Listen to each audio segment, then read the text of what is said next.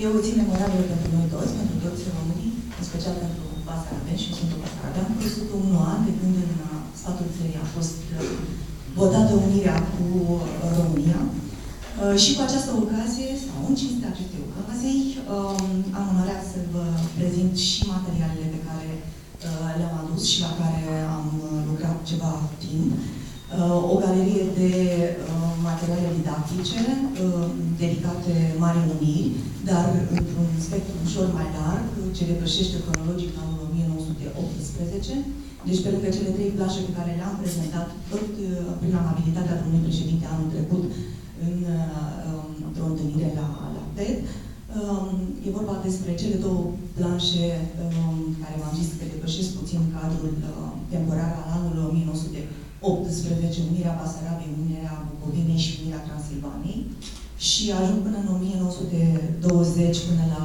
recunoașterea internațională a Marei Uniri, uh, trecând la Convenția de Pace de la Paris, trecând prin uh,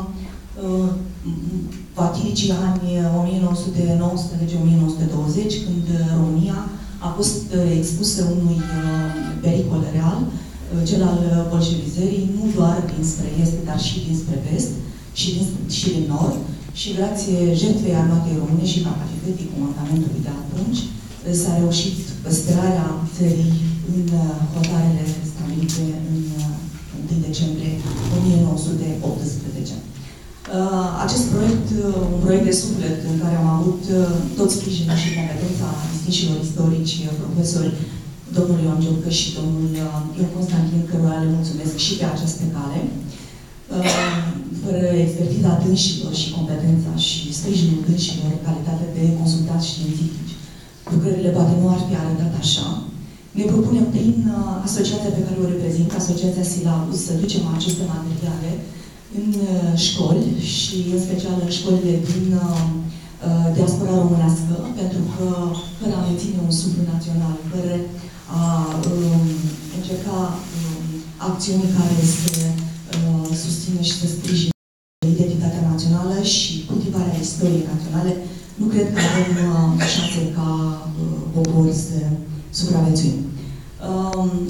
aceste planșe pe care le vedeți uh, sunt elaborate în colaborare cu Arhivele Naționale ale României, un proiect, zic eu, de succes, astfel că în spatele um, uh, codurilor QR pe care le aveți, prin scanare, se poate ajunge la un material de arhivă mult mai uh, cuprinzător, care, sper eu, le va fi de un uh, real folos nu doar profesorilor uh, de istorie, în cadrul orelor de istorie, dar și tuturor celor uh, iubitori de, de istorie. Mulțumesc foarte mult, vă mulțumesc foarte mult, domnilor profesori, pentru uh, sprijinul și pentru consultația științifică. Mulțumesc mult de tot, domnul președinte, pentru amabilitatea de a găzdui acest eveniment, dedicat zilei Basarabiei, pe care, uitați atât de frumos, prin niște realizări, zic eu, modeste, reușim să o marcăm. Mulțumesc mult!